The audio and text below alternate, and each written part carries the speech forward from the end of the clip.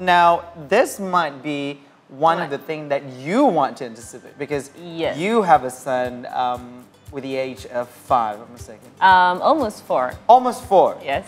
In no time, he will be 15 or 14.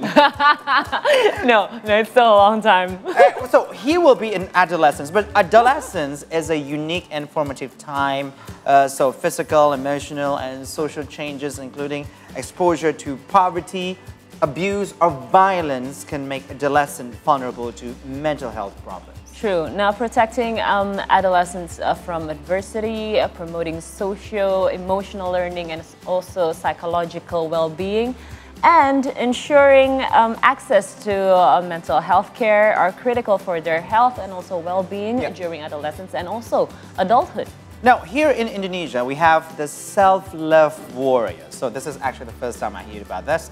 A youth-led organization that empowers young people to love themselves and learn about mental health. Now, to know more about this matter, today we are connected to the Self-Love Warrior founder, Michelle Teh. Good morning from Good Indonesia and good afternoon there in Vancouver, Michelle. Good morning. Hi guys, how Hi. are you doing? Good Hi. morning. We're doing well. Thank you so much for joining us. Um, Thank you, Michelle. And looking so green there. uh, So radiant. Yeah, so radiant as well. So, uh, but Michelle, um, as I said before, this is the first time I heard about Self Love Warrior. But can you tell us a little bit more about this particular movement or organization? Yeah, definitely. So the plans, you know, reflect what we're doing. We're basically a youth-led organization that was started way back in 2018, and our main goal is just to raise awareness about mental health and self-love, specifically to young adults, so teenagers, people who are in high school, maybe like early years of university, and yeah, that's what we do. We mostly post content um, create programs for them, and really try to talk about mental health in a way that's relatable and they can feel like they get it, you know, like you're talking to someone who feels and understands your pain instead of like a very professional um, person who you might not be more vulnerable with. So, yeah, that's a little bit about us. That's nice. Now, uh, Michelle, why why do you think um, you know self love and self care is important? What's the urgency Yes, to it? okay. The urgency was actually when I started this when I was in high school, and I hmm. felt like the urgency was back then there was not really a lot of focus on mental health and self love. And in fact, around 50% of your mental health problem starts by the age of 14. And so when I was starting this, I felt, yeah, 14, 14 years old.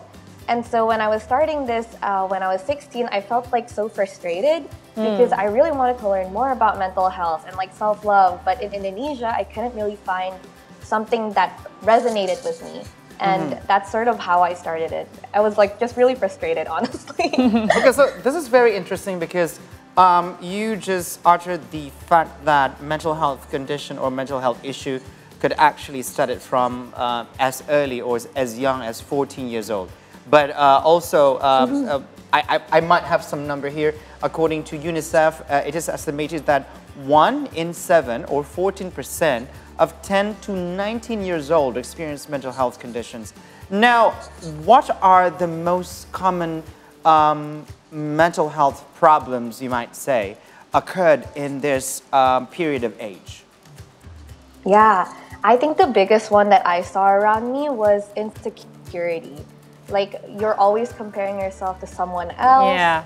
And you're trying to fit in, and that's why the, our name is like self-love warrior, right? Because I personally think that a lot of the mental health problems that you have, like later in life, mm. like you date a toxic person, you take a job that you don't like. Oh, like, sounds it really familiar. stems you don't, yeah. Dating a toxic Yeah, person? I mean, like, that happened in, Oh no! What are you, in my wow. junior high time. Wow.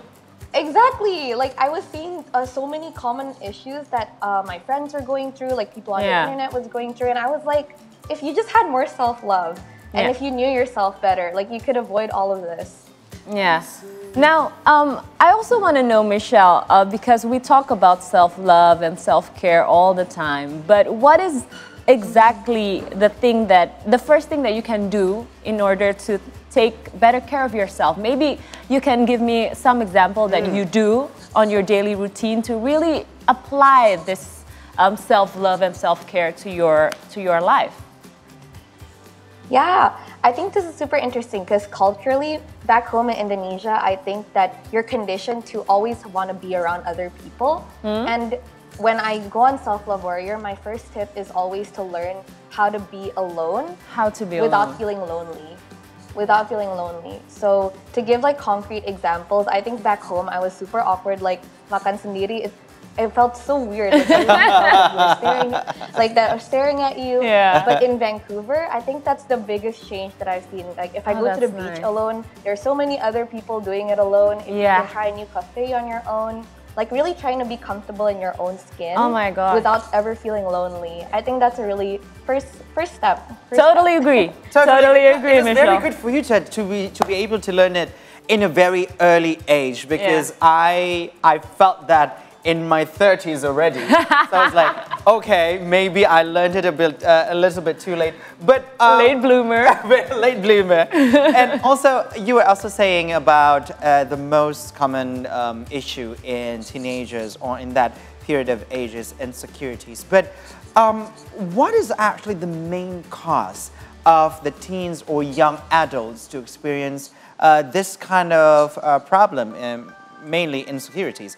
Is it because of, um, you know, being hyper connected or Mm. always online or is it because of the Yeah. competitive environment because in this age of social media people tend to see um, uh, pe- you know things that they follow on Yeah. social media or people that they follow on the social media with a certain persona is that also uh, the main cause of it um, in your opinion Yeah, so we actually ran a program called Self Love Goes to School, and then we mm. actually talked a lot about this with like students. Why do you feel so insecure?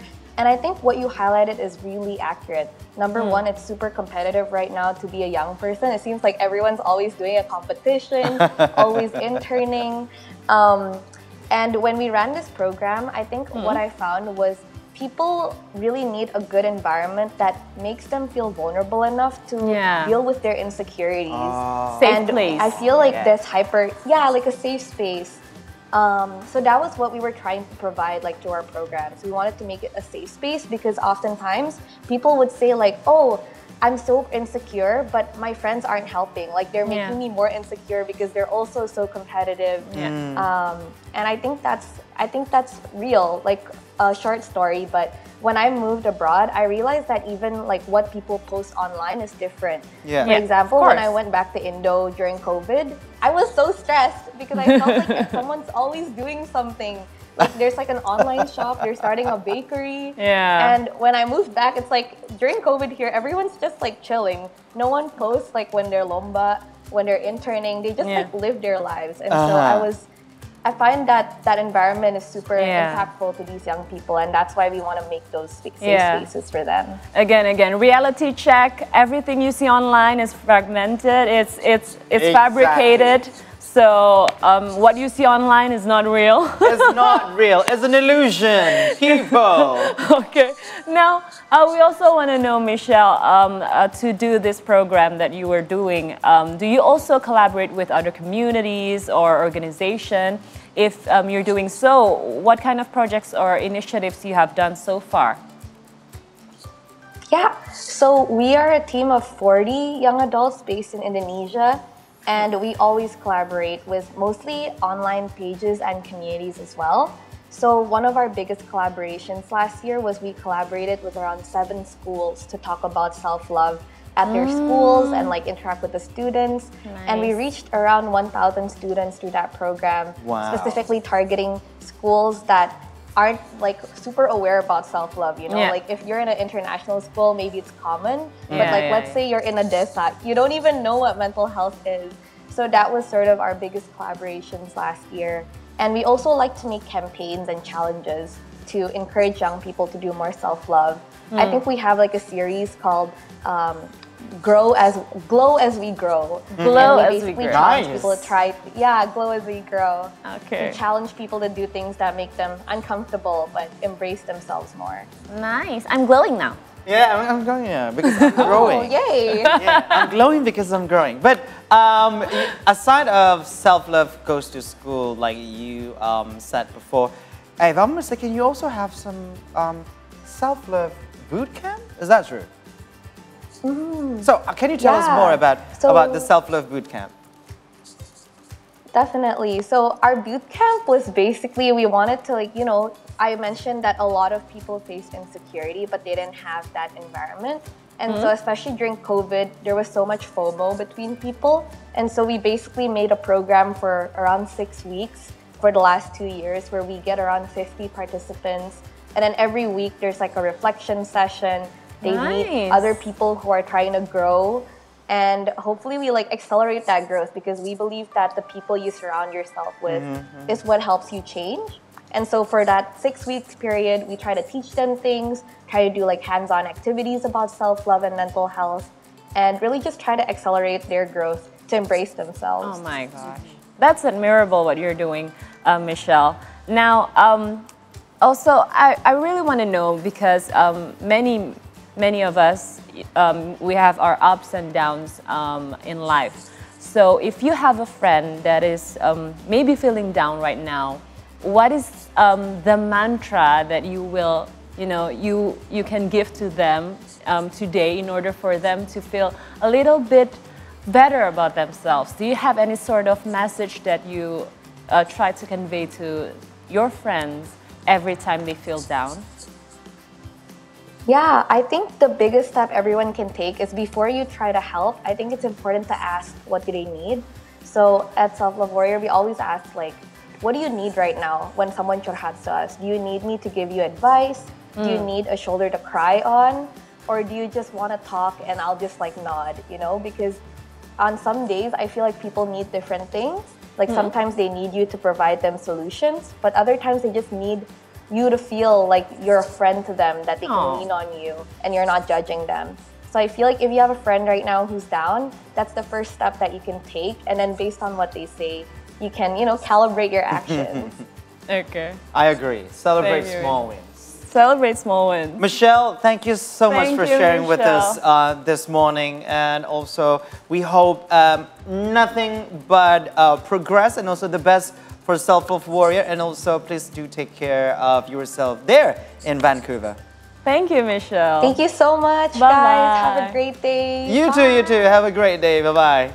Wow. All right. That was quite um, calming in the sense that um, you could actually have your insecurities. You have you Always. can um, actually have your flaws and stuff like that, and still be human. still be human and still you know um, have this optimism to you know just um, go through pull through just accept the negative emotions accept the the negative thoughts but in uh, at the end of the day you just have to come back to yourself and feel better about yourself and know that you're not alone You're exactly. not alone You're not this. alone. you not so alone. do not ever feel like you're alone. Probably, if you're feeling so, uh, grab someone um, you know closest to you Yeah. and stuff like that, and try to you know to cry and stuff Yeah. like that. Like what Michelle said, that um, you just need a safe space. Yes, safe space. And, you know, um, one thing that I really, really love about this self care routine that Mm. I'm doing, um, one of those that is very effective for me is actually journaling. Because Journaling? Journaling, because you can really, you know, you put your feelings um, to these notes, Mm. to your diary, and then you read it again. Yeah, and yeah. you sort of feeling, you know, um, you kind of put put your feelings into words, and it's sort of like letting go, Like letting go of your flowing, feelings. Yeah. Putting your feelings onto the stream of water. Yeah. Like that. And then you let it go, and then you just accept it.